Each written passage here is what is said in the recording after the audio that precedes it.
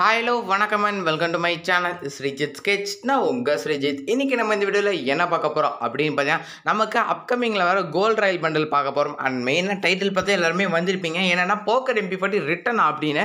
ஆமாம் guys Poco MP forty return but அதுலேயும் பார்த்து ஒரு சேஞ்ச் இருக்குது. ஸோ நம்ம இத்தனை நாள் பார்க்காத ஒரு புது போக்கர் எம்பி ஃபார்ட்டி ஸோ அதோட டீட்டெயில்ஸ் ஸோ அந்த போக்கர் எம்பி ஃபார்ட்டி எப்படி இருக்கும் எப்போ வரும் அப்படிமே எல்லா விஷயத்தையுமே பார்த்தலாம் அண்ட் அடுத்ததான் நம்ம என்ன பார்க்க போகிறோம்னா ஒரு பண்டில் வரப்போகுது. ஃப்ரீ ஃபயர் கணக்கு இதே வேலையை போச்சு. Free fire equal to remake அப்படின்னு வச்சிடலாம்னு நினைக்கிறேன். ஏன் அப்படிங்கிறத உங்களுக்கு வீடியோ போக போக புரியும். அதாவது வீடியோ கடைசி வரைக்கும் பார்த்துட்டு பிடிச்சிருந்தா லைக் பண்ணுங்கள் உங்கள் ஃப்ரெண்ட்ஸ் எல்லாத்துக்குமே ஷேர் பண்ணி விடுங்க. கண்டிப்பாக நம்ம சேனலை தொடர்ந்து பார்க்கணும்னு நினச்சிங்கன்னா சப்ஸ்கிரைப் பண்ணுங்கள் பார்க்குற எல்லாரும் சப்ஸ்கிரைப் பண்ணுங்கள் ரொம்ப சப்போர்ட்டிவாக இருக்கும். அப்படியே லைக்கும் பண்ணுங்கள் ஓகே கைஸ் ஸோ வாங்க. இப்போ நம்ம டேரெக்டாக வீடியோக்குள்ளே போகலாம். ஃபர்ஸ்ட் ஆஃப் ஆல் நம்ம என்ன பார்க்க போகிறோம்னா நம்மளுக்கு அடுத்து வரப்போகிற கோல்ட் ரயிலேருந்தே ஆரம்பிச்சிடலாம். இம்பீரியர் மலிக்கா கரெக்டாக தான் ப்ரொனவுன்ஸ் பண்ணுறேன்னு நினைக்கிறேன்.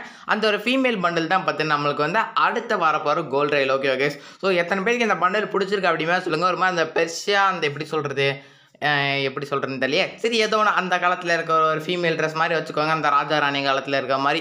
ஸோ அப்படியே வச்சுக்கிட்டிங்கன்னா ஓரளவு கரெக்டாக தான் இருக்கும்னு நினைக்கிறேன். ஸோ பார்க்க பண்டில் நல்லா இருக்க மாதிரி தான் இருக்குது. எப்போ கோல்ட் ரயில் எஃபெக்ட் இருக்காது. ஸோ அதே மாதிரி இந்த ஒரு பண்டலுக்கு எஃபெக்ட் கிடையாது. ஸோ நம்ம அடுத்தது என்ன பார்க்க போகிறோன்னா ஸோ நான் ரீமேக்குன்னு சொன்னேன்ல அந்த டாபிக் பக்கத்தில் வந்துடுவோம் ஸோ இந்த பண்டில் எங்கேயோ பார்த்த மாதிரி இருக்கா?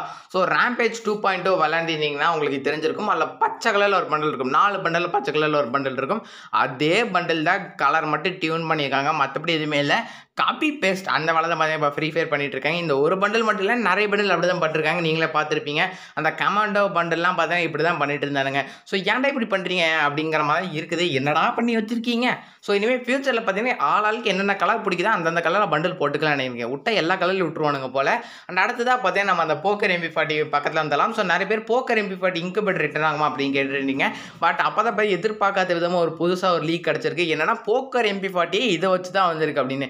நீங்கள் வந்து இது தானடா போக்கர் எம்பி ஃபடி மாதிரி இருக்குது இது போக்கர் எம்பி காப்பி அடிச்சாங்க அப்படின்னு கிடையாது.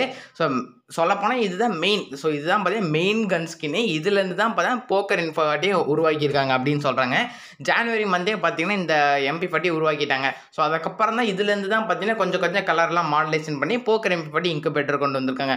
இது பார்த்தீங்கன்னா ஓபி டுவெண்ட்டி நைன் அப்டேட்டுக்கு அப்புறம் வரும் அப்படிமா சொல்லியிருக்காங்க. எந்த அளவுக்கு உண்மைன்னு தெரியல பட் கூடிய சீக்கிரம் வரும்.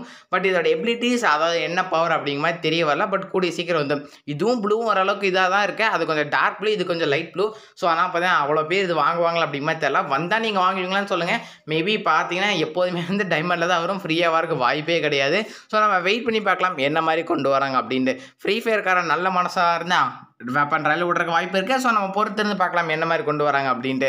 அண்ட் இந்த வீடியோ அவ்வளோதான் இந்த வீடியோ கண்டிப்பாக உங்களுக்கு பிடிச்சிருக்கேன் பாரு, ரொம்ப ஷார்ட் அண்ட் ஸ்வீட்டான வீடியோ தான் சொல்ல வேண்டியதாக சொல்லிட்டேன்னு நினைக்கிறேன்.